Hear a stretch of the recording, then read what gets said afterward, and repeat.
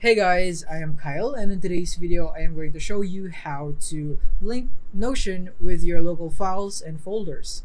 So let's get started.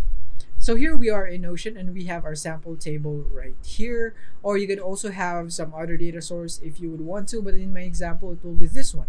So there is the so the best way that you can do this is to do it the easiest and simplest way that can be thought of just with common sense actually. So to do that you simply need to go and add a property to your data source.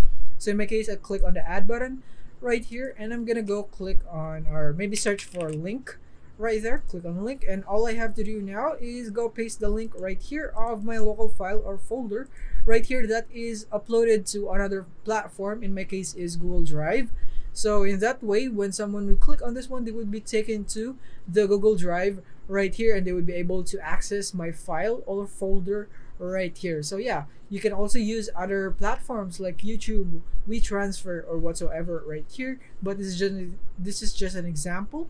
So yeah this is basically how you can do this. So i hope this video helped you out. Thank you for watching. If you have found this video helpful simply leave a like below or subscribe because it helps me reach more people see you soon